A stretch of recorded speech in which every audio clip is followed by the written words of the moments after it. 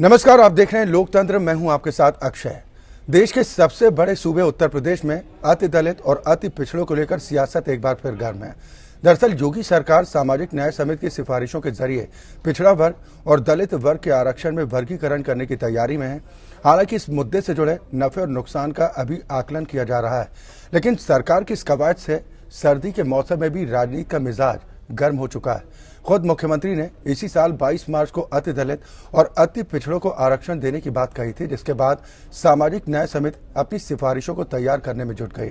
हालाँकि सामाजिक न्याय समिति की सुस्त रफ्तार की वजह से सरकार के सहयोगी और योगी सरकार में मंत्री ओम प्रकाश राजभर अपनी नाराज़गी ज़ाहिर भी कर चुके हैं, लेकिन इस समिति की सिफारिशों को लेकर चर्चा एक बार फिर जोरों पर है। एकजुट हो रहे विपक्ष गोलबंदी के मुकाबले बीजेपी के लिए ये एक मज़बूत दांव माना जा रहा है। मिशन 2019 के लिहाज से बीजेपी ये दांव चलने की ख्वाहिशमंद तो है, लेकिन डर इस बात का भी है कि कहीं खुद की पार्टी के भीतर घमासान न मच जाए। और इसीलिए सरकार इस रिपोर्ट को लागू करने की जल्दबाजी नहीं दिखा रही। ऐसे में सवाल इस बात को लेकर उठ रहे हैं कि साल 2001 में तत्कालीन मुख्यमंत्री राजनाथ सिंह का ये फॉर्मूला क्या वाकई कारगर साबित हो सकता है? क्योंकि राजनाथ कैबिनेट के मंत्री रहे अशोक यादव अदालत की शरण में तब चले गए थे और समिति की इस रिपोर्ट पर कोर्ट ने रोक लगा दी थी। और सबसे महत्वपूर्ण ये कि अगर ये सिफारिशें लागू हो भी जाती हैं तो क्या वाकई अति पिछड़ों और अति दलितों की स्थिति में बदलाव हो पाएगा?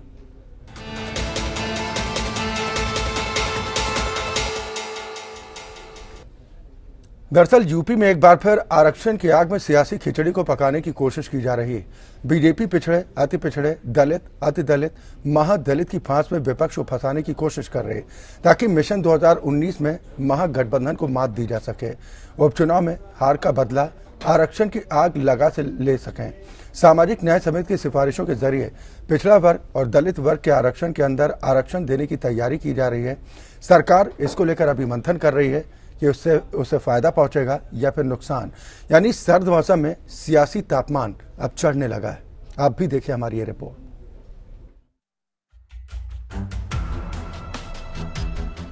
देश में सियासी तापमान गर्म है और इसे तापमान में वोट की बिसात बिछाई जा रही है, ताकि मिशन में कोई खलल ना पड़े। जिस आरक्षण की आग में सियासी रोटियाँ अब तक पकती रही, अब उसी आरक्षण का बंटवारा कर बीजेपी, यूपी जीतने की तैयारी में है, क्योंकि दिल्ली की सत्ता यूपी से ही तय होती है। बीजेपी, यूपी में हुए उपचुनाव में हार और सपा बसपा के गठजोड़ को शिकस्त देने के लिए आरक्षण में बंटवारे की नीति बना चुकी है। यानी आरक्षण के अंदर आरक्षण, कोटे के अंदर कोटा देने की बात हो रही है। पिछड़ों और अति पिछड़ों में आरक्षण का बंटवारा, वोट के बिसात पर अब आरक्षण के अंदर आरक्षण देने की तैयारी है। ये फॉर्मूला 2001 में राजनाथ सिंह ने इजाद किया था, लेकिन अदालत की चौखट पर पहुंचकर दम तोड़ चुका था। अब खुद योगी आदित्यनाथ ने विधानसभा में अति दलित अति पिछड़ों को आरक्षण देने की बात कही और तभी से सामाजिक न्याय समिति अपनी सिफारिशों को तैयार करने में जुटी है। सूत्रों के मुताबिक समिति के रिपोर्ट में पिछड़ा वर्ग को तीन श्रेणियों में बांटा गया। तीन श्रेणियों को नौ नौ नौ फ़ीसदी आरक्षण देने की सिफारिश की गई। पिछड़ा वर्ग में बारह, अति पिछड़ा में उनसठ और सर्वाधिक पिछड़ा में उनासी जातियाँ रखी गई तो वहीं एस सी के बाईस फ़ीसदी आरक्षण के लिए भी दलित अति दलित और महादलित तीन श्रेणियाँ प्रस्तावित की गई हैं। बाईस फ़ीसदी आरक्षण को इन तीन वर्गों में सात सात और आठ के फॉर्मूले पर बांटने का प्रस्ताव है। दलित वर्ग में चार अति दलित में सैंतीस और महादलित में छियालीस जातियों को रखने की सिफारिश है। अगर ये सिफारिश मान ली गई तो सूबे में यादव, ग्वाल, सुनार, कुर्मी ढड़होर सहित 12 जातियाँ पिछड़ा वर्ग के कुल 27 फ़ीसदी आरक्षण में एक तिहाई आरक्षण पर सिमट जाएँगी। हमारी सरकार के द्वारा एक ही लक्ष्य है कि हम जिनको अभी तक तमाम प्रकार के अधिकारों से वंचित रखा गया या वो वंचित रह गए, वो किसी भी क्षेत्र में पीछे छूट गए, उनको भी समानता का अधिकार मिलना चाहिए, उनको भी आगे बढ़ने का अवसर मिलना चाहिए। और इसी उद्देश्य से ये कमेटी भी बनी थी इसी उद्देश्य से सरकार आगे भी बढ़ रही है। आरक्षण के भीतर आरक्षण का एक फॉर्मूला बिहार जैसे राज्यों में हिट है। उसी तर्ज पर अब उत्तर प्रदेश में भी ऐसे ही आरक्षण के बिसात बिछाने की तैयारी है। बीजेपी सरकार के इस दांव पर विपक्ष ने तेज हमले कर दिए। मैंने तो ये कहा कि जिसकी जितनी संख्या भारी उसकी उतनी हिस्सेदारी इसके पक्ष में है। हम भारतीय जनता पार्टी और आरएसएस बिल्कुल उसी रास्ते पे है जैसे अंग्रेज़। कि बांटो और राज करो। ये उसी रास्ते पर हैं। ये चाहते हैं कि बांट दो और राज करो। लेकिन बांटना क्या चाहते हैं? ये लोग आरक्षण छीनना चाहते हैं पिछड़े और दलितों का। उनको और कमज़ोर बनाना चाहते हैं। अब यूपी सरकार की सामाजिक न्याय समिति की सिफारिशों को लेकर जातीय गोलबंदी शुरू हो गई। बीजेपी अति पिछड़ा, अति दलित दाव को बेहतर और मज़बूत विकल्प मान रही है। बीजेपी मिशन 2019 जीतने के लिए ये दांव खेलने जा रही है। लेकिन पार्टी के अंदर ही घमासान है। अति दलित अति पिछड़ा कार्ड के ज़रिए बीजेपी, यूपी में बुआ बबुआ के संभावित गठजोड़ की काट करना चाहती है। लेकिन इस ब्रह्मास्त्र के सियासी जोखिम भी बहुतेरे हैं। लिहाजा बीजेपी खेमा सधे अंदाज में कदम आगे बढ़ा रहा है। लेकिन इस मुद्दे ने सूबे के सियासी माहौल को सरगर्म कर दिया है। सहयोगी विवेक राय के साथ ज्ञानी शुक्ल एपीएम लखनऊ। यहाँ तो एक बार फिर देश के सबसे बड़े सूबे में आरक्षण की आग में सियासी खिचड़ी को पकाने की कोशिश की जा रही है। हालाँकि अभी इसके नफे नुकसान का आकलन भी किया जा रहा है, लेकिन सवाल इस बात को लेकर भी उठ रहे हैं कि अगर सरकार की ये कवायद रंग लाती है तो क्या वाकई में अति पिछड़ों, अति दलितों के अच्छे दिन आएँगे? आज हम इसी पर चर्चा करेंगे। सभी खास मेहमान हमारे साथ जुड़ चुके हैं। सबसे पहले अपने दर्शकों की मुलाकात अपने आज के सभी मेहमानों से। मेरे साथ नोएडा स्टूडियो से पीयूष पंत जी हैं। आप वरिष्ठ पत्रकार हैं। डॉक्टर आर के वर्मा जी लखनऊ से हमारे साथ जुड़े हैं। आप पूर्व प्रदेश अध्यक्ष हैं, अपना दल के मनोज यादव, आप नेता हैं, समाजवादी पार्टी के पार्टी का पक्ष रखेंगे। अरुण राजभर जी हमारे साथ इस कार्यक्रम का हिस्सा हैं। आप महासचिव हैं, सुहेल देव, भारतीय समाज पार्टी के साथ ही अरविंद यादव हमारे साथ जुड़े हैं, आप प्रवक्ता हैं, प्रगतिशील समाजवादी पार्टी के और वाराणसी से अशोक पांडे हमारे साथ इस कार्यक्रम का हिस्सा हैं। आप प्रवक्ता हैं, भारतीय जनता पार्टी के और कुछ ही देर बाद डॉक्टर कोलेश्वर प्रियदर्शी हमारे साथ होंगे, जो कि दलित चिंतक हैं। बहुत स्वागत है आप सभी का हमारे साथ इस कार्यक्रम में शामिल होने के लिए। शुरुआत अशोक पांडे जी मैं आपसे ही करूँगा।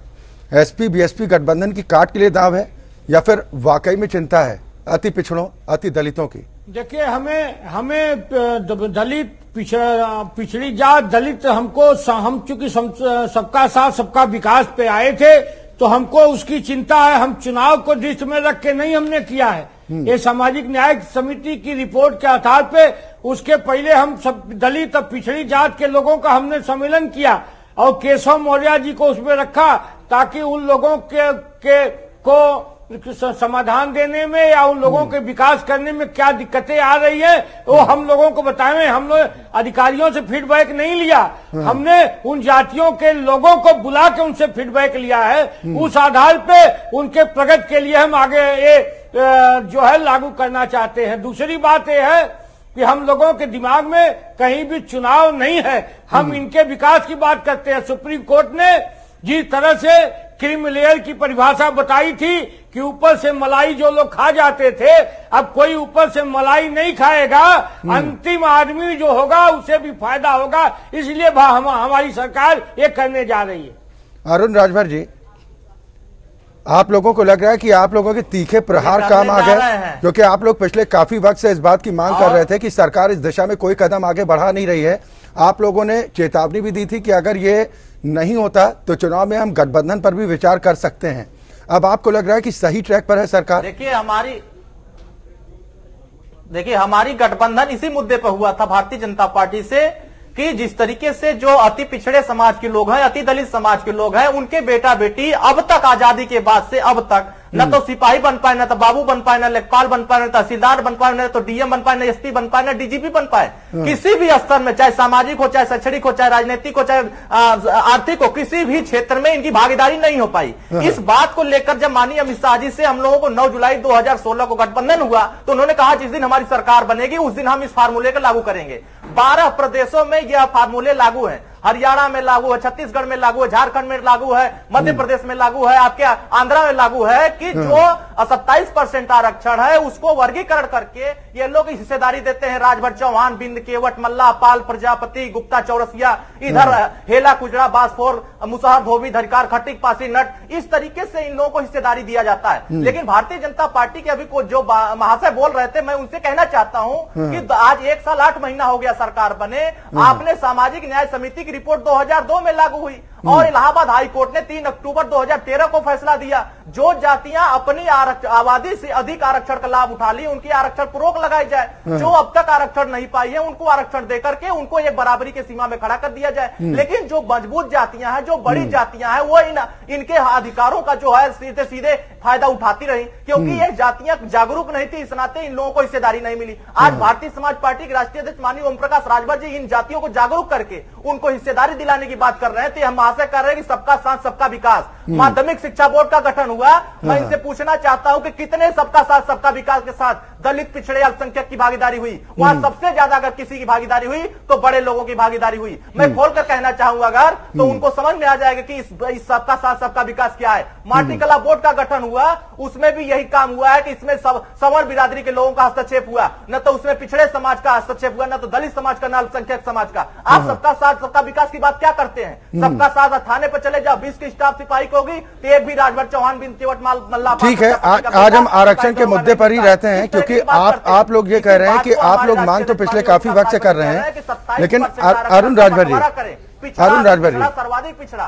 दलित अति दलित महादलित करके इनको हिस्सेदारी दे। जिस तरीके से पुलिस की भर्ती घोषणा किए हुए हैं कि चालीस हज़ार पैंतालीस हज़ार पुलिस की भर्ती करने जा रहे हैं। बिना विभाजन किए अगर पुलिस की भर्ती करेंगे तो ये भी अति पिछड़े अति दलित के साथ धोखा करेंगे। अगर यह दो लेकिन अरुण राजभर जी अब सुन तो लीजिए।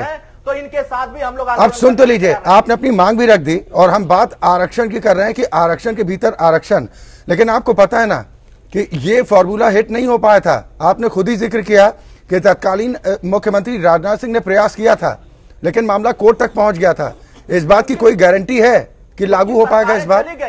वो तो रिपोर्ट वो रिपोर्ट तो उन्होंने तो तैयार किया था लेकिन वो सरकारें चली गई। वो सरकार लंबे समय तक नहीं चल दो ही दो साल लगभग रही। उसके बाद जो पुरानी सरकार जो नई सरकार बनी वो। सरकार इसमें ध्यान ही नहीं दी। आपने देखा समाजवादी पार्टी की सरकार बनी है बहुजन समाज पार्टी। जितने पुलिस की भर्ती हुए हैं उसमें न तो अति पिछड़े समाज के बेटा बेटी की भागीदारी हो पाई है न अति दलित समाज के बेटा बेटी की भागीदारी हुई। तो इसी बात को माननीय राजनाथ जी ने अगर सामाजिक न्याय समिति की रिपोर्ट तैयार किया है राघवेंद्र जी के नेतृत्व में अगर ये रिपोर्ट सौंप दी गई है कि पीसीएस की भर्ती में एक भी परसेंट अति पिछड़े और अति दलित की भागीदारी नहीं है। जब माननीय मुख्यमंत्री जी को इस बात का पता चल गया है तो इसका विभाजन क्यों नहीं कर रहे हैं? अगर उनको रिपोर्ट मिल गई है तो तत्काल इसको लागू करें। चले ठीक। अब मैं दोबारा आपके पास आऊँगा थोड़ा आप इंतज़ार कीजिए। मैं डॉक्टर आर के वर्मा जी आपके पास आऊँगा। चाहे लेखपाल की चाहे बाबू की चाहे तहसीलदार की चाहे वो सिपाही राजभर साहब समझ सकते हैं की आज उत्साहित होने का दिन आप लोगों के लिए है। थोड़ा सा धैर्य रखिए मैं दोबारा आपके पास आऊँगा। डॉक्टर आर के वर्मा जी। मेरी लड़ाई है उन, सर उन लोगों सर आऊँगा ना। जिनको आज़ादी सर आऊँगा। अगर ये लागू होगा तो कैसे लागू होगा? इसका असर क्या कुछ पड़ेगा? हम इस पर भी बातचीत करेंगे। मैं दोबारा आपके पास आऊँगा तब आप अपनी बात और रखिएगा। मैं डॉक्टर आर के वर्मा जी आपके पास आ रहा हूँ। क्या वाकई में आपको लग रहा है कि आरक्षण का लाभ देने में पिछली सरकारों ने एक खास वर्ग को ज़्यादा तरजीह दी? जी जो विषय है पहले मैं उस पर आना चाहूँगा। अभी मैं आदरणीय राजभर जी को मैं सुन रहा था। सामाजिक न्याय समिति 2002 में बनी। और आज इतने वर्षों के बाद जो आरक्षण के अंदर आरक्षण की मांग की जा रही है समिति ने अपनी उस रिपोर्ट को प्रस्तुत करने का कार्य किया है तो पहले तो मैं यही जानना चाहूँगा कि उसका आधार क्या है। आरक्षण के अंदर आरक्षण करने की व्यवस्था की ज़रूरत क्यों पड़ी? आरक्षण में क्रीमी लेयर की जब व्यवस्था है कि जो आर्थिक रूप से समृद्ध परिवार है क्रीमी लेयर के अंतर्गत आता है तो उसको आरक्षण का लाभ नहीं मिलेगा। तो हम कैसे मान सकते हैं कि कुछ विशेष जातियाँ ही आरक्षण का पूरा फ़ायदा उठा ली? दूसरी चीज़ ये है कि शासन प्रशासन में या किसी भी नौकरी में जी। किस जाति की कितनी भागीदारी है और उस जाति का जातिगत आंकड़ा क्या है जब तक समिति इस बात को सार्वजनिक न करे, तब तक उसकी आबादी का आंकड़ा नहीं आ जाता। जब तक उसका शैक्षिक और आर्थिक आधार का आंकड़ा नहीं आ जाता है, तब तक सामाजिक न्याय समिति की यह बात को मानना कि आरक्षण के अंदर आरक्षण की व्यवस्था करने की ज़रूरत है। मैं व्यक्तिगत रूप से इसे खारिज करता हूँ।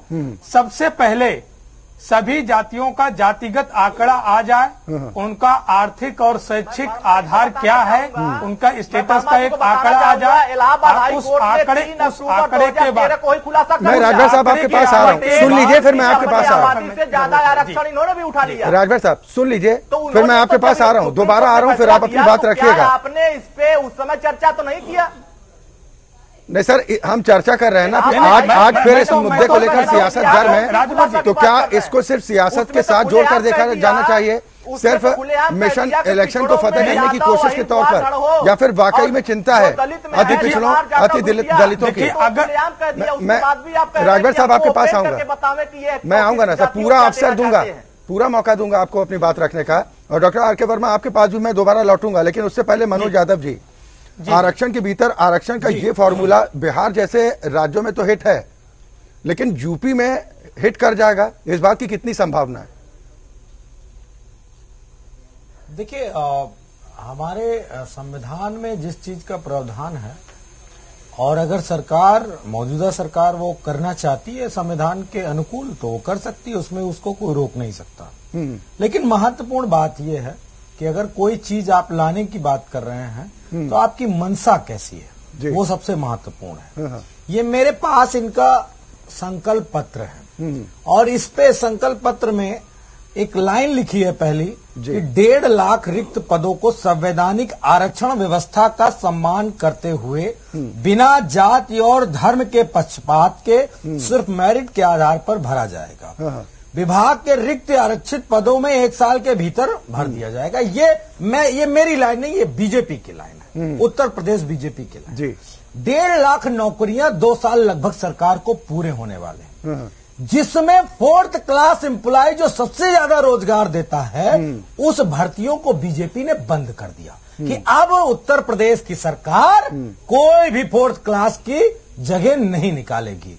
अगर नहीं निकालेगी तो आप ये बताइए कि उसमें आरक्षण तो लागू नहीं होगा। जब आरक्षण नहीं लागू होगा तो हमारे जिनका ज़िक्र जिन बातों का ज़िक्र हमारे राजभर जी कर रहे हैं जो बहुत पीछे लोग रह गए हैं उनको अगर प्रदेश के फोर्थ क्लास की नौकरी में प्रतिभागिता नहीं मिल पाएगी बीजेपी के एक जो शासनादेश इनका आ गया। तो इसके बाद क्या उम्मीद करते हैं कि जो बहुत पीछे वो डायरेक्ट आई यादव साहब आपकी सरकार के दौरान भी वादा किया गया था कि आरक्षण को लेकर हम कुछ इस तरह की व्यवस्था करेंगे ताकि खासतौर पर मुस्लिम समुदाय के लोगों की भी हम बात कर रहे हैं कि मुस्लिम अल्पसंख्यकों के लिए भी करेंगे। ये वादा खिलाफी के आरोप तो आप लोगों पर भी लगते रहे। आप लोग हिम्मत क्यों नहीं जुटा पाए? देखिए अच्छे जी। अच्छे जी आदरणीय राष्ट्रीय अध्यक्ष जी का ये बयान लगातार है न्यूज़ चैनलों पे है तमाम भाषणों में है जी। कि पूरी जातीय जनगणना करा लो और जो जिसकी जितनी हिस्सेदारी हो हम तो कह रहे सबको दे दो। जो जितने परसेंट है। कहते हैं ब्राह्मणों को आरक्षण नहीं है ब्राह्मणों को दे दो। क्षत्रियों को नहीं है उनको दे दो। कायस्थों को दे दो। यादवों को दे दो वर्मा को दे दो सबको दे दो आरक्षण। सर सवाल तो एक ये भी उठेगा ना कि जब जब आपके पास सरकार थी आपके पास मौका था उस वक्त आपने क्या कुछ कदम उठाए? दलितों को आपने सिपाही बनाया सवाल आपकी नीयत पर भी खड़े होंगे। मैं दोबारा मनोज यादव जी आपके पास आऊँगा। पंद्रह साल आपने राज किया अरविंद यादव जी। दिया आपने? सर राजभर साहब मैं आऊँगा थोड़ा सा धैर्य रखिए ना मैं आपके पास आऊँगा। जनता को धोखा मैं आऊँगा ना सर। इसको अगर चर्चा को बेहतर तरीके से करेंगे तो हमारे दर्शकों को भी समझ में आएगा। वो बेचारे जो आरक्षण का लाभ अब तक नहीं पा पाए हैं शायद उन्हें थोड़ा सा ज्ञान हो कि आरक्षण अगर मिलता है तो किस तरीके से मिलता है और किस तक मिलता है। और अगर मौजूदा व्यवस्था कर दी जाती है तो उसके बाद किसको फ़ायदा होगा कितना होगा ये बेहतर तरीके से समझ आएगा। मैं अरविंद यादव जी आपके पास आ, आ रहा हूँ। आपकी पार्टी की क्या कुछ सोच है इस आरक्षण प्रक्रिया को लेकर जिस पर हालाँकि अभी भी हम कह रहे हैं कि कवायद चल रही है। अभी सरकार खुद इस बात का आकलन करने में जुटी है कि कहीं इससे नफा होगा या नुकसान तो नहीं हो जाएगा। देखिए आज प्रगतिशील समाजवादी पार्टी के नेता माननीय श्री शिवपाल सिंह यादव जी ने साफ़ कह दिया है अभी आप पहले चलाए भी हैं कि जिसकी जितनी हिस्से आबादी है उसको इतनी हिस्सेदारी मिलनी चाहिए। रही बात उन्होंने साफ़ क्लियर तरीके से बता दिया। दूसरी चीज़ें जो यह राजभर जी कह रहे हैं कि नौकरी नहीं मिली पुलिस में इनके पिताजी एक बार बलिया में अंट संट बोल देते हैं। मैं इनको साफ़ तरीके से बताना चाहता हूँ कि जिस तरीके ये पिछड़ों अति पिछड़ों की बात करते हैं।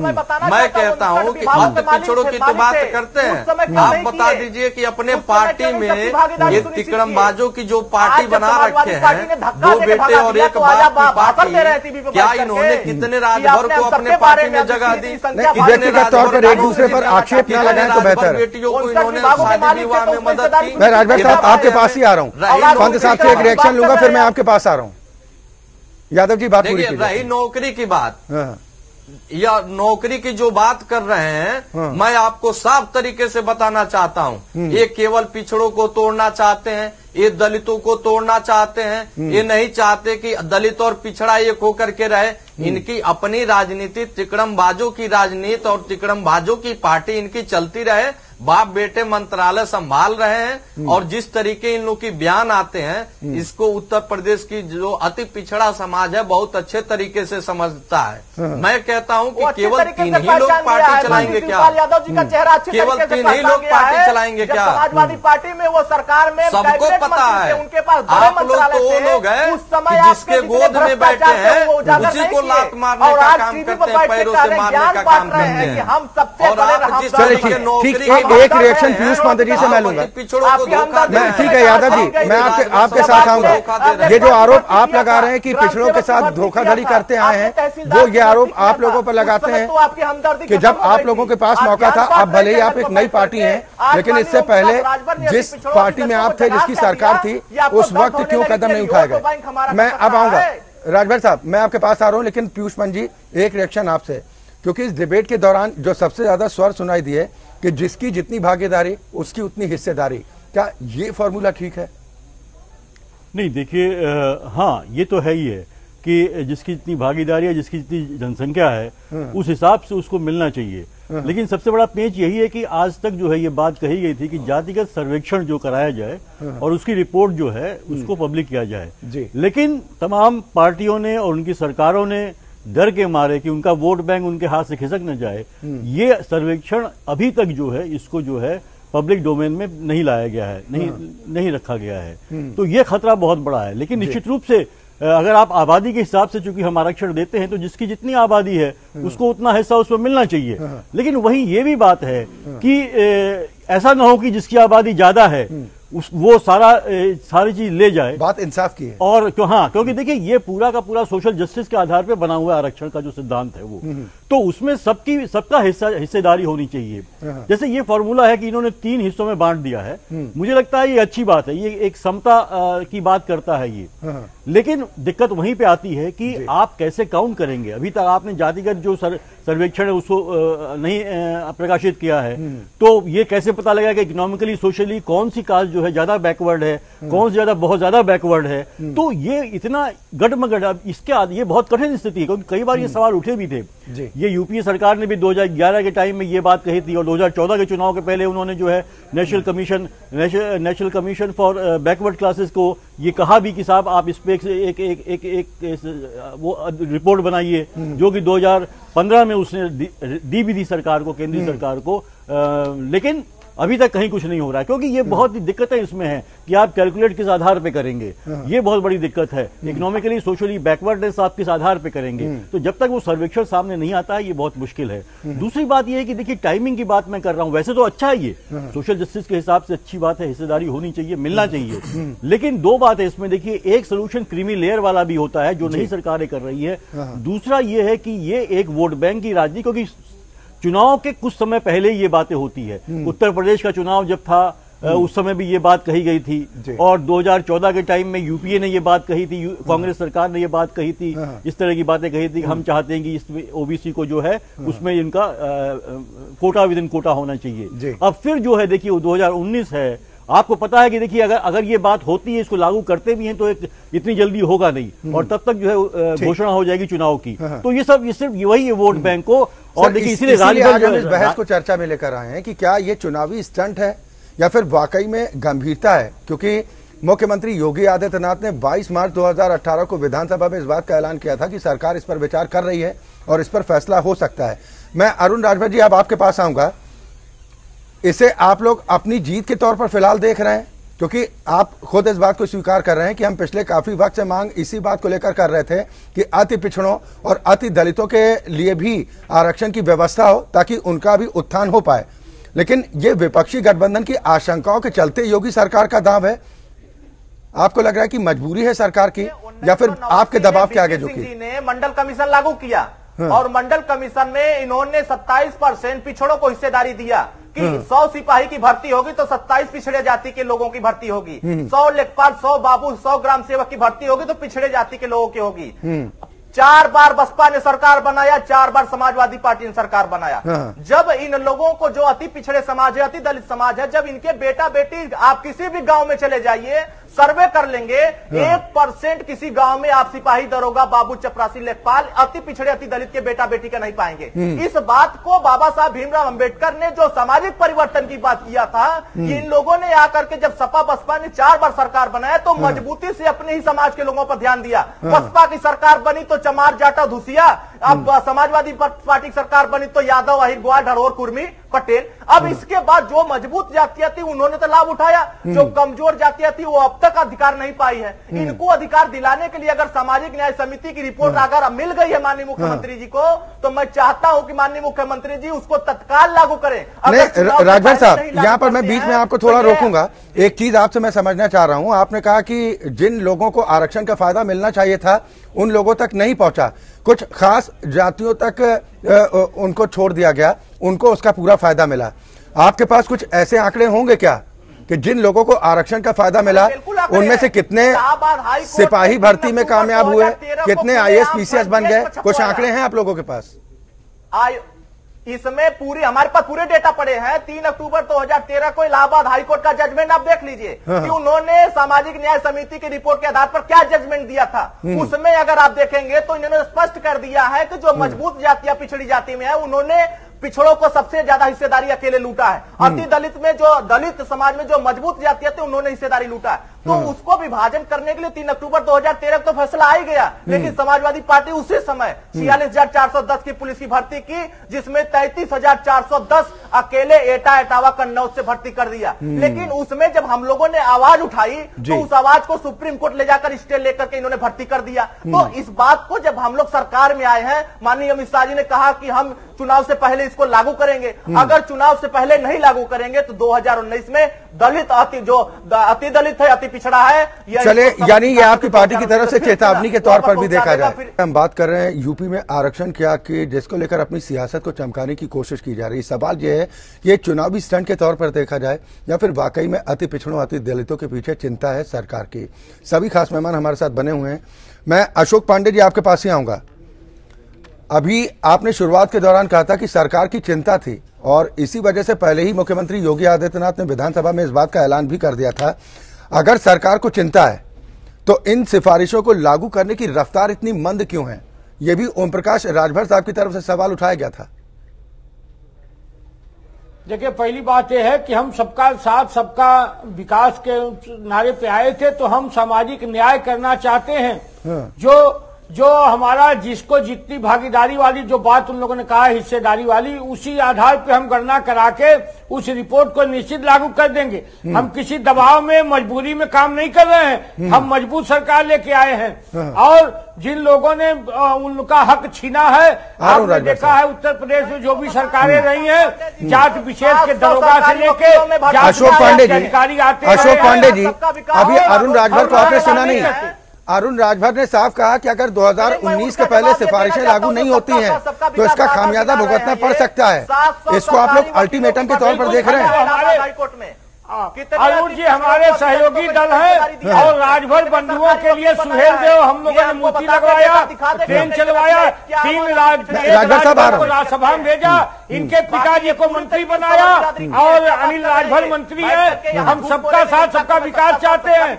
देखिएगा जो रिपोर्ट आएगी हर आदमी की जितनी भागीदारी हिस्सेदारी है उतना उसको हिस्सा मिलेगा इसमें कोई दो राय नहीं है। राजभर साहब हम राजनीति करने नहीं आए पिछड़ा दिख गया वो तो हिस्सा आपने अभी लेखपाल की भर्ती किया है ना उसमें हिस्सा देख दिख गया कि कितना आपने हिस्सेदारी दिया है हम्म। जितना आपने सात सौ सरकारी वकीलों की भर्ती किया है। उसमें भी दिख किया कितने अति पिछड़ों अति दलितों की हिस्सेदारी किया है इसी बात को जब मैं कहता हूँ तो मुझे बगावती कहा जाता है हाँ। मैं अति पिछड़ों अति दलितों को अधिकार दिलाने के लिए उनकी भागीदारी सुनिश्चित कराने के लिए जब हाँ। बोलता हूँ तो इनको बगावत समझ में आता है ये क्यों नहीं भर्ती किए क्यों नहीं सरकारी वकील बनाए? इक्यावन अति पिछड़े अति दलित हिस्सेदारी बनती है सत्ताईस फ़ीसदी में कितना हिस्सेदारी बनती है? हम्म। आपको एक सौ तिरपन भी नहीं बनाने की क्षमता थी उस समय। और आपने बना दिया इक्यावन उसमें भी दलित अति दलित। पिछड़ों की हिस्सेदारी आपत्ति भी हम आपकी समझने का प्रयास करेंगे कि इसमें भी आपत्ति आप लोगों को क्या है? लेकिन मनोज यादव जी अशोक पांडे जी जो शायद इशारों में कहना चाह रहे हैं कि जिसके दोस्त राजभर जी जैसे हों तो दुश्मनों की ज़रूरत क्या? नहीं ऐसी बात नहीं ये हमारे सहयोगी दल है इनके राजनीति करने का अपना तरीका है। हम एक दल है ये दूसरे राजनीतिक दल है। पांडे जी पांडे जी सुन लीजिए मनोज यादव जी को सुन लीजिए फिर मैं आपके पास आ जाऊँगा। सर दोस्ती में ये भाषा थोड़ी गले के नीचे उतरती नहीं है ना। होने से हाँ मनोज जी। आप उत्साहित होकर डिबेट तथ्यों के साथ होती है। हैं। इसलिए ध्यान पांडे जी पांडे जी पांडे जी प्लीज़ उन्हें उन्हें भी अवसर मिला है। भाई। उन्हें भी अपनी बात रखने दीजिए। और एक साल आठ महीना हो गया। तो पिछड़ों को बोलने नहीं दे रहा बिंद केवट मल्ला अरुण राजभर साहब अरुण राजभर साहब हम इन तमाम बातों का ज़िक्र कर चुके हैं।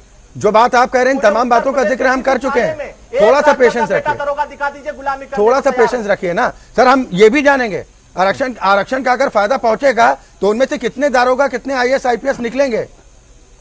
आरक्षण मिलने की क्या गारंटी है? देखिए, हम मैं आऊँगा ना? राजभर साहब आऊँगा। मैं आपके पास आऊँगा। मनोज यादव जी। कितने इनको मनोज यादव। देखिए निश्चित रूप से राजभर जी की पार्टी जो है अति उत्साहित है एक बात। दूसरी जिनके साथ वो सत्ता में बैठी है हाँ। उनका एक मैनिफेस्टो है। उस मैनिफेस्टो पे उन्होंने पट्टी बाँध ली है राजभर साहब ने। अगर फोर्थ क्लास की नौकरियाँ बंद कर दी सरकार ने तो अब बस्ती है बाबू की कलेक्टर की आईएएस की आईपीएस की बीपीएस की। उसके लिए इन्होंने लिखा है अपने कि सभी सभी लड़के लड़कियों को कक्षा बारह तक फ्री शिक्षा देंगे। उनको मुफ़्त देंगे सब कुछ ड्रेस कोट पैंट जो कुछ भी है किताबें कापी सब फ्री देंगे। वो नहीं दे रहे हैं। उसके लिए राजभर जी मुँह में टेप लगा के बैठे एक बात। हाँ। और ग्रेजुएट तक ये निशुल्क 50 परसेंट देंगे गरीब बच्चों को। गरीब को मैं राजभर मान लेता हूँ। सिर्फ़ राजभर मान लेता हूँ और कुछ नहीं मानता हूँ। उसके लिए राजभर जी मुँह में टेप लगा के बैठे हैं। और इन्होंने कहा था कि हम गरीब परिवारों के बच्चों को उच्च शिक्षा में और दलितों को पाँच सौ करोड़ रुपए की अंबेडकर है, तब से आवाज़ बुलंद कर रहा छात्रवृत्ति देंगे आपकी सरकार? थी, आप कितने नहीं मंत्री है। समाज के लिए बोलते थे? तो की गुलामी करने के लिए बैठे हुए थे सत्ता में। आप सत्ता में खुले आम पाँच बोलता हूँ समाज के लिए, क्यों तो आपको लगता है रहे? बना हो। क्या आप मैं कहता हूँ बात करो ना कि आखिर इस देश के अरे तो इतने परसेंट लोग उसको ऐसा करते हुए नज़र नहीं आया हूँ। 49% हमेशा सरकार को वो आएगा दिखाता हूँ, जिस सरकार उनको बनी हुई थी। आरक्षण है और आपने क्या किया है अब तक? आप बहुत ज्ञान बांट रहे हो बैठ के चैनल पर। एक बार बोलो राजभर जी कि 50 परसेंट में हमको आरक्षण मिलना चाहिए जो इस देश के 15 परसेंट लोगों को मिल रहा है बोलो ना है अरे भाई जो पहले 27 परसेंट जो अभी खोखी आना है कल अब मुबादे अब तो बात बिगड़ जाएगी। तो। अभी जो 27 परसेंट यानी मौके की नजाकत के हिसाब से ही दबाव की राजनीति होती है मैं मैं राजभर साहब राजभर साहब अगर आपसी तू तू मैं अगर उलझ जाएँगे ना सर तो, तो इस मामले में निष्कर्ष कुछ निकल नहीं पाएगा। पूरी तरीके से मैं मनोज यादव जी मनोज यादव जी जो राजभर साहब की चिंता है उनका साफ़ तौर पर यही कहना है कि समाजवादी पार्टी के शासन में आरक्षण का जो फ़ायदा यादव सोनार कुर्मी डाढ़ोर समेत कुछ जातियों को मिला तकरीबन 12 जातियों का आकलन आकलन उन्होंने किया है कि इनको जो मिला अरे! तो अब अगर उनसे अच्छा ज़्यादा दयनीय स्थिति जिनकी है उनको मिल जाए तो दिक्कत क्या है? किया जाए। हाँ। उनके शासनकाल एक की एक यादव हैं। ये गलत है। निसंदेह रूप से गलत राजभर जी बोल रहे हैं। और सबसे महत्वपूर्ण बात है। वो ये आरोप लगा रहे हैं ना मनोज यादव जी। बात ये मनोज यादव जी वो उनका सीधा आरोप है के आप लोगों की सरकार में सबसे ज़्यादा फ़ायदा इन्हीं लोगों को पहुँचा है क्या? इसीलिए आप अच्छा लोगों ने कुछ कदम नहीं उठाया शिक्षा के आरक्षण का क्या ये बताइए? बिन न्याय शिक्षा के आरक्षण किसको दे रहे हैं? सर अभी जब आप कह रहे हैं। आप ये बताइए। आपने ये कहा आपने ये कहा। मैं, करें? मैं, मैं अगर आपकी बात भी मान लेता हूँ और राजभर साहब का भी दर्द समझ लेता हूँ। तो आखिर परिस्थितियों में परिवर्तन क्यों नहीं हुआ? मैं आज भी यादव समाज में पिछड़े लोग हैं। आज भी सुनार समाज के लोग पिछड़े हुए हैं। मनोज यादव जी। मनोज यादव जी और राजभर साहब आप दोनों प्लीज़ थोड़ा इंतज़ार कीजिए। आज तो मैं डॉक्टर आर के वर्मा जी आपके पास आऊँगा। उस समय रेट था जो ये आरक्षण की व्यवस्था नहीं तो नहीं है। ना? डॉक्टर साहब आरक्षण की व्यवस्था नहीं तो नहीं है। मुझे ये बताइए कितना उत्थान हुआ उन लोगों का जिनको अब तक आरक्षण का फ़ायदा पहुँच रहा था? जी जी जी। मैं आपकी बात से सहमत हूँ। मैंने पहले भी यही तथ्य रखे हैं कि जो आरक्षण की जो संविधान की जो आरक्षण के प्रति जो मूल भावना थी उस भावना के अनुरूप जो अभी तक जो आरक्षण का अनुपालन हुआ है अभी तक शासन प्रशासन में फ़र्स्ट क्लास से लेकर के फोर्थ क्लास तक किस जाति की आबादी कितनी है उसके सापेक्ष शासन प्रशासन नौकरियों में उसकी हिस्सेदारी कितनी है? जब तक यह आंकड़ा सार्वजनिक ना हो सक जाए तब तक इस पर बात करना मुझे लगता है कि इंसाफ नहीं होगा। दूसरी चीज़ जो कुछ लोगों को ये लग रहा है कि आरक्षण का लाभ एक विशेष जाति के लोगों ने ले लिया या कुछ लोगों ने ले लिया मैं इस बात की चर्चा करना चाहूँगा। गरीबी हर जगह है। गरीबी अपर कास्ट में भी है सवर्णों में भी गरीबी है। मैं तो इस बात से सहमत हूँ कि हर एक जाति का जातिगत आंकड़ा निकाल लें और शासन प्रशासन नौकरियों में उनकी सहभागिता कितनी है उसका प्रतिशत निकाल लें आर्थिक शैक्षिक आंकड़ा निकाल लें और जितने प्रतिशत लोग उसमें गरीब हों किसी भी जाति और मज़हब के हों उन सभी गरीबों को उसके जातिगत आंकड़े के तो अनुरूप अरविंद यादव की जी अरविंद यादव दी जी जानी फिर इससे अच्छी व्यवस्था ये नहीं है कि आर्थिक स्तर पर आर्थिक स्थिति के आधार पर आरक्षण की व्यवस्था हो जाए। छोड़िए ना जात पात का चक्कर। मैं मैं कह रहा हूँ हाँ। कि आर्थिक आधार पे क्यों? आप अगर चार परसेंट राजभर हो तो चार परसेंट दे दीजिए एग्ज़ाम्पल तौर पे। तीन परसेंट कुशवाहा हो तो तीन परसेंट कुशवाहा सर आपको लग रहा है कि आरक्षण के लिहाज से देश चल पाएगा? आरक्षण के लिहाज से ही देश चल पाएगा? रफ्तार पकड़ पाएगा? देखिए नहीं नहीं अगर आरक्षण से नहीं चल पाएगा हम्म। तो आप बता दीजिए क्या आर्थिक आधार पे आरक्षण दे देने से देश चल जाएगा। जो दबे कुचले लोग हैं हम्म। सर जो आज़ादी के बाद से जो आरक्षण का फ़ायदा बैठे हैं जो पहुँचना जो चाहिए था जिस लिहाज से पहुँचना चाहिए था क्या वो फ़ायदा पहुँचा है? पढ़ते हैं अगर फ़ायदा पहुँचा तो आज क्यों हमें बहस करनी पड़ रही है? अगर फ़ायदा पहुँचता तो क्यों? मैं तो क्यों आज जंग लड़नी पड़ रही है?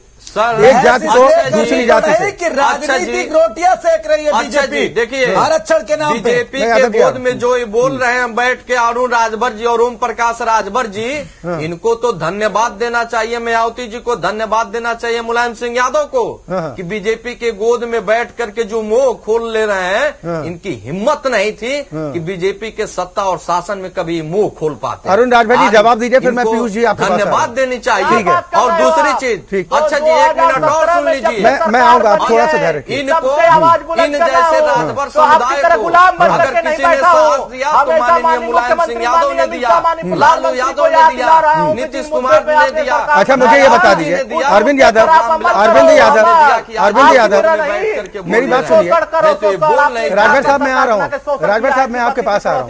हम इसीलिए कह रहे हैं कि अगर जब व्यक्तिगत आरोप प्रत्यारोप करते हैं ना तो माहौल थोड़ा बिगड़ जाता है आम दर्शकों तक जो बातें पहुंचनी चाहिए वो नहीं। पहुँच पाती। इनका समय हो इसीलिए मैं निवेदन कर रहा हूँ बजने वाला कि मैं। आऊँगा आपके पास बोल रहे हैं नहीं अरविंद यादव। आज चौहान का अरविंद यादव जी SP बन गया मुझे ये बताइए ना। प्रजापति का बेटा सीओ बन गया होता। राजभर साहब, राजभर साहब, बना है। सर दो जात दो के हिसाब से अगर ये पता चलने लग जाए कि कौन डीएम होगा कौन एसएसपी होगा ये देश के लिए अच्छा नहीं है सर। ये अच्छा नहीं है। काबिलियत को पैमाना बनवाइए। अगर आप लोग सच में भला चाहते हैं लोगों का अगर आप लोग लोगों का भला चाहते हैं तो पैमाना काबिलियत रखिए। मैं अरविंद यादव जी आपके पास ही आ रहा हूँ क्योंकि आप जो जिस बात का ज़िक्र कर रहे थे मैं एक चीज़ आपसे समझना चाह रहा हूँ। राजभर साहब को आरक्षण का फ़ायदा सिर्फ़ इस बात के लिए मिले अरुण राजभर को कि वो राजभर समाज से ताल्लुक रखते हैं या फिर उनकी आर्थिकी देखी जानी चाहिए। मैं कह तो रहा हूँ कि। आर्थिक स्थिति नहीं हाँ। जो लोग गाँव में वंचित हैं ऐसे राजभर अगर जो बीजेपी के गोद तो में सर वो क्रीमी लेयर की बात हो रही है ना? ऐसे बात तो उसी प्रदेश क्रीमी लेयर की हो रही है ना?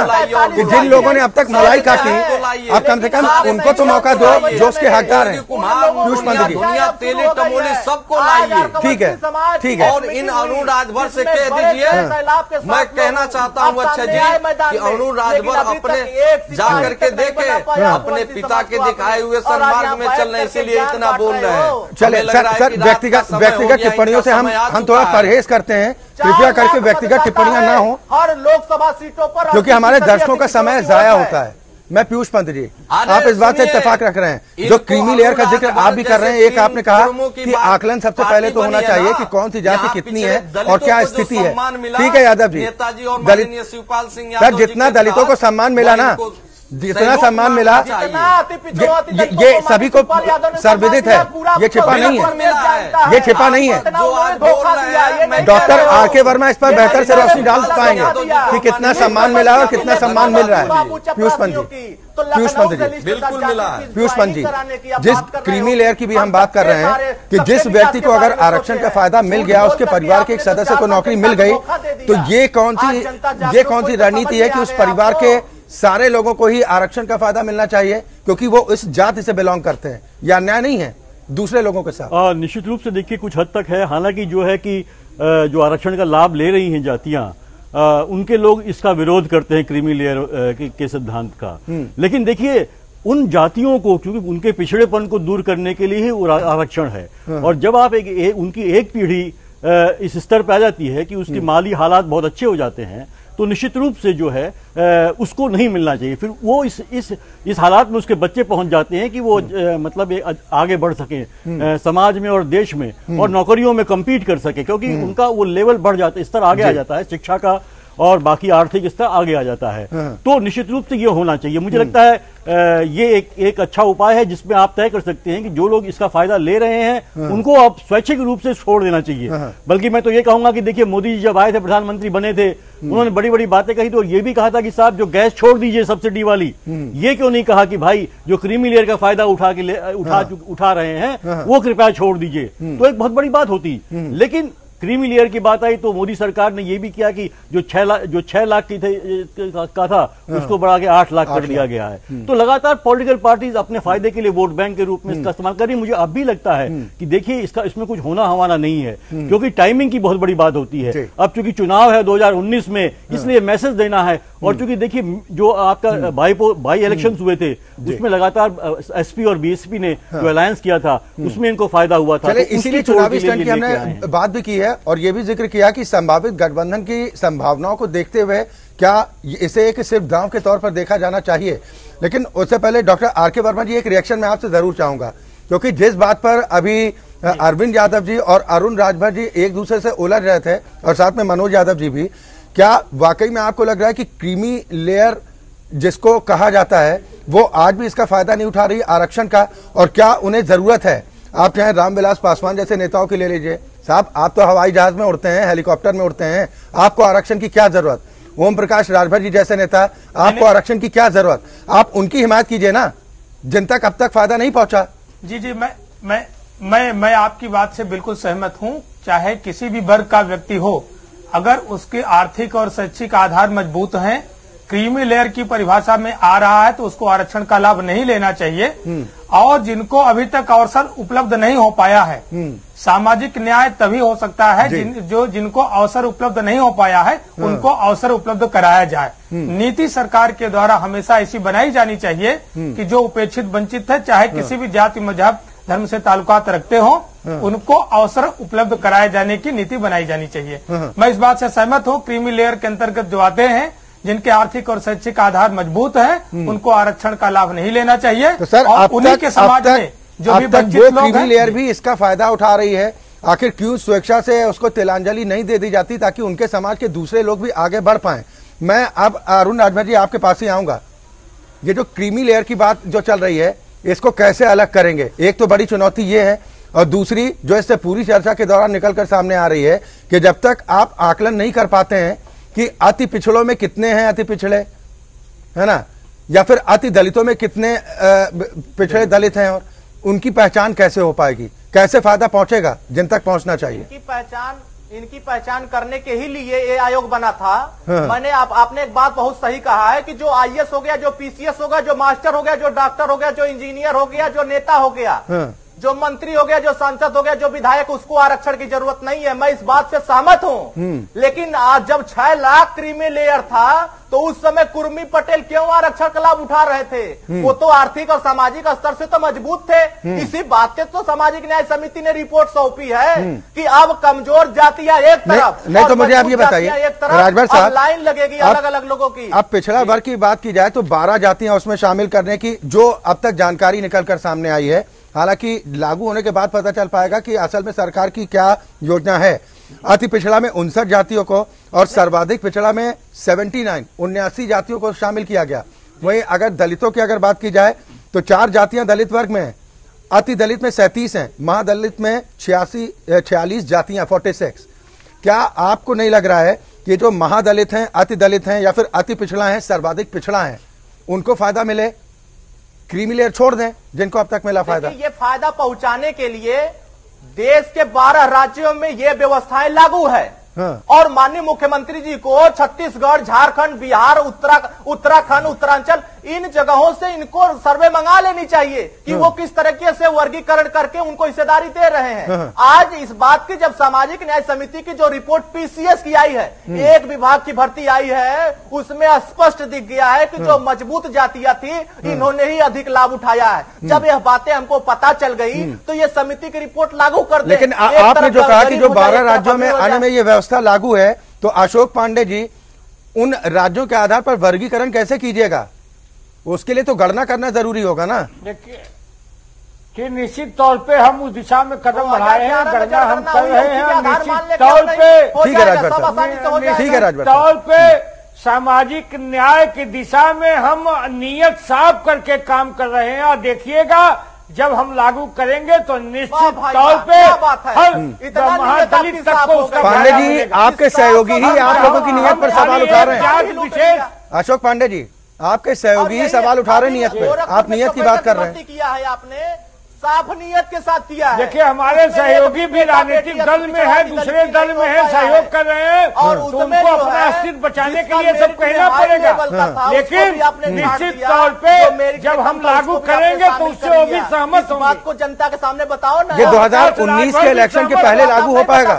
अशोक पांडे जी। आपकी खराब है। अशोक पांडे जी नियत सही करने के लिए हम 2019 चुनाव के पहले लागू हो पाएगा? संभावना इसकी नज़र आ रही है। नेता लक्ष्मीकांत वाजपेयी हाँ बिल्कुल राजभर साहब, संभावना राजभर साहब, 2023 प्लीज़, प्लीज़, मैं होगा ये चुनाव को ध्यान में है उत्तर प्रदेश का चुनाव नहीं है। तो हम कह रहे हैं कि हम इसको भ्रष्टाचार लागू करेंगे और देखिएगा अंतिम आदमी को भी उसका फ़ायदा मिलेगा। रायबरेली में जेल में बंदूक पहुँच जा रही है। बिना अधिकारियों के मनोज यादव जी मनोज यादव जी मैं आपके पास तो आऊँगा। ये बड़ी। हैरानी होती है कि एक एक तरफ़ ये भी कहा जाता है कि हमारा तो दबाव काम आ गया। दूसरी तरफ़ अपनी सरकार को कटघरे है। सबसे बड़ी पैमाना है कि अगर ठीक है, आपको राजभर साहब। जनता ने जनप्रतिनिधि बना के साहब। भेजा है सपा तो का जनता आदमी हक बंदूक की की बात बात राजभर साहब में ठीक है मैं आऊँगा आपके पास। मैं मनोज यादव जी मनोज यादव जी क्यों हम। इन्हीं बातों में उलझे रहते हैं? क्यों हम इन बातों में राजभर साहब प्लीज़ चार जातियाँ राजभर साहब। चार चार जातियों के आधार पर आप काम कर रहे सर हो? इसको सदन मत बनाइए। और मुझे लोकसभा के स्पीकर कि शांत रहें शांत रहें। प्लीज़ थोड़ा सा धैर्य रखिए। शांत कैसे रहेंगे? मनोज यादव जी। इन तमाम बातों में बहस करने के बजाय आपको नहीं लगता कि आरक्षण को लेकर विचार किए जाने की ज़रूरत है? आर्थिक स्थिति पर जो हम इससे पहले भी बात कर रहे थे कि आर्थिक स्थिति के आधार पर अगर आरक्षण की व्यवस्था हो मत देखिए कि मुसलमान है हिंदू है ठाकुर है पंडित है लोध है क्या है। आर्थिक स्थिति गड़बड़ है तो उसको आरक्षण का फ़ायदा दिया जाए कुछ ऐसी व्यवस्था की जाए। आपकी पार्टी पक्षधर है। देखिए निश्चित रूप से हम तो सबसे बड़ी लड़ाई खत्म करने की बात कर रहे हैं कि जनगणना करके आप सबको आरक्षण दे दो। जिसका जितना हिस्सादारी हो उसको उतना हिस्सा दे दो। एक बात। दूसरी महत्वपूर्ण बात है जैसे कोई भी व्यक्ति है मान लीजिए मैं क्रीमी लेयर हो गया मनोज यादव क्रीमी लेयर हो गए और आरक्षण से अलग हट गए तो कहाँ जाएँगे? सामान्य वर्ग में जाएँगे। अब वो आरक्षण नहीं लेंगे बैकवर्ड का अगर दलित होंगे तो दलित वाला एस सी नहीं लेंगे आरक्षण। लेकिन जब वो बैकवर्ड या दलित सामान्य वर्ग में जनरल सीट पे जाता है तो बीजेपी के पेट में गैस बनने लगती है और ज़बरदस्त गैस बनती है और उसके लिए महाषडयंत्र होने लगता है। जो एक्स्ट्रा जो सामान्य वर्ग बनाया गया इसलिए बनाया गया कि जिसको आरक्षण नहीं लेना है वो सामान्य वर्ग में लड़ाई लड़े और उसमें आपको लगता है कि आज की डेट में ऐसा कोई है जो आरक्षण का फ़ायदा नहीं लेना चाहता? वो तो मजबूरी है जिनको नहीं मिल रहा। है आपकी जानकारी के लिए बता दूँ कि आज की डेट में तमाम सारे ऐसे बैकवर्ड दलित हैं जो सामान्य वर्ग से अपनी लड़ाई जो अपनी काबिलियत के दम पे समा और लड़ाई लड़के सामने आते हैं। लेकिन तब इन सवर्ण क्लास के लोगों को बड़ी दिक्कत है कि हमारे इसमें क्यों आ रहे हो आप? आप अगर बैकवर्ड हो तो बैकवर्ड के सर इसीलिए तो हम कह रहे हैं इसीलिए तो हम कह रहे हैं कि क्या आरक्षण देश को खोखला नहीं कर रहा है। कि अगर एक बार आप कहते हैं कि हमारी भागीदारी यहाँ पर सुनिश्चित हो जाए तो फिर दूसरे के अगर घर में झांकेंगे तो प्रश्न वहाँ पर नहीं उठेंगे। और अगर नहीं उठेंगे तो क्यों नहीं उठेंगे? अरविंद यादव। अरविंद यादव। मनोज यादव जी ने जो बात अभी कही कि जिनको आरक्षण का फ़ायदा मिल रहा है वो सामान्य वर्ग में भी पहुँचते हैं। सामान्य वर्ग को तकलीफ़ होती है। भाई तकलीफ़ क्यों नहीं होगी? जिनको आरक्षण का फ़ायदा नहीं मिल रहा है और जिनके लिए कोटे की व्यवस्था की गई है तो कोटे दम पे निर्धारित रहे। मैं कह रहा हूँ अच्छा जी अगर वो अपने दम पे पढ़ करके हाँ। मैं कह रहा हूँ कि मेरा पूरे उत्तर प्रदेश में सातवां स्थान था मेरी काउंसलिंग जनरल रैंक से हुई तो क्यों होनी चाहिए दिक्कत जनरल जात को अगर मैं पढ़ने में तेज था तो सातवां हाँ। स्थान लाया उत्तर प्रदेश में हाँ। तो मेरा हुआ जनरल में हाँ। काउंसलिंग तो क्यों दिक्कत होगी? अगर मैं पढ़ करके अगर कोई पिछड़ा या दलित या अति तो पिछड़ा सर या उसी काबिलियत की तो हम बात कर रहे हैं ना पढ़ कि करके पैमाना काबिलियत बनाइए। आता है तो क्यों किसी को पैमाना काबिलियत? बनाइए। रही जिस अच्छा सर जी ये बता दीजिए आरक्षण के हिसाब से फिर अगर ये तय करेंगे कि इस इस कोटे से इतने डॉक्टर होंगे तो फिर इलाज करवाएँगे क्या? ये भी सुनिश्चित कर देना मैं चाहिए कह रहा हूँ कि जिनको कोटा नहीं, तो मिला अच्छा उसी समाज के लोगों का उपचार भी वही करेगा। मैं कह रहा हूँ अच्छा जी, दो मिनट मेरा सुन लीजिए। मैं कह रहा हूँ कि ठीक है, आरक्षण को खत्म कर दीजिए।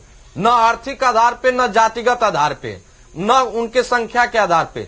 लेकिन मैं ये कह रहा हूँ चैलेंज कर रहा हूँ और दावे के साथ कह रहा हूँ कि आरक्षण अगर खत्म कर दिया जाए तो सब खुश हो जाएँगे।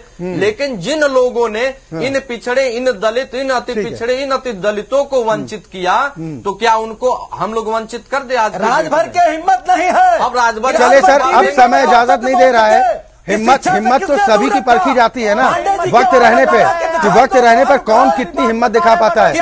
एक एक से संक्षेप में रिएक्शन मैं पीयूष जी आपका ज़रूर लेना चाहूँगा। आपने पूरी तकरीबन एक घंटे की डिबेट सुनी इस पूरी डिबेट में मतलब खुद की राजनीति चमकाने से ज़्यादा नज़र कुछ भी नहीं आया। हालाँकि अशोक पांडे जी ज़रूर कह रहे हैं कि हमारी नीयत साफ़ है उनके सहयोगियों को इस पर भरोसा नहीं है। लेकिन क्या वाकई में आपको नहीं लग रहा है कि असल जड़ ये आरक्षण है जिसकी वजह से कहीं ना कहीं जो जातियों में बंटवारा हो रहा है। पहले तो धर्म में होता था अब जातियों में भी बंटवारा हो रहा है। आरक्षण की ये व्यवस्था लागू रही और जैसा कह रहे हैं कि जिसकी जितनी हिस्सेदारी उसकी उतनी भागीदारी। अगर ये व्यवस्था हो गई तो देश रसातल में जाएगा या फिर तरक्की करेगा? नहीं देखिए मैं तो ये कहूँगा कि आरक्षण बिल्कुल गलत नहीं है। आरक्षण ज़रूरी है क्योंकि जो पिछड़ा समाज है जो कुचला समाज रहा है कई सालों से जो लग, लगा रहा है रहा है उसको आगे बढ़ाने के लिए आरक्षण चाहिए। लेकिन आरक्षण एक हर आदमी को जाति के आधार पर उस तरह से नहीं होना चाहिए कि अगर आप उस जाति में अगर आप आगे बढ़ गए हैं तो निश्चित रूप से वहाँ पे ये जो है मैं तो क्रीमी लेयर की बात जो हम लोगों ने की थी मैं चाहता हूँ वहाँ पे उस चीज़ उस पे विचार किया जाए। क्योंकि जब तक वहाँ जगह खाली नहीं होगी तो जो पिछड़ा है उसको आगे बढ़ने का पढ़ने का और आगे आने का नौकरियों में आने का मौका कैसा मिले कैसे मिलेगा? तो ये ज़रूर होना चाहिए। चले अब उम्मीद इसी बात को लेकर करते हैं कि हमारी सरकारें दावे और वादे तो बड़ी बड़ी करती हैं। लेकिन इन दावों पर खरा कितना उतरती है? क्योंकि आरक्षण का मकसद यही था कि जो बिस्तर पर लेटा है, उसको हाथ पकड़कर आप बैठा दीजिए। जो बैठ गया है, उसका हाथ पकड़कर खड़ा कर दीजिए और जो खड़ा है, हाथ पकड़कर उसे दौड़ा दीजिए। लेकिन हैरानी इस बात को लेकर होती है कि आरक्षण का फ़ायदा उन भागने वाले लोगों को ही दिया जाता है जो भाग पाने में सक्षम है। लेटा हुआ व्यक्ति उसी स्थिति में आज भी है, जैसा पहले था। बहुत शुक्रिया। आप सभी मेहमानों का हमारे साथ इस कार्यक्रम में शामिल होने के लिए। और इसी के साथ लोकतंत्र में आज के लिए बस इतना ही। एपीएन न्यूज़ में खबरों का सिलसिला लगातार जारी।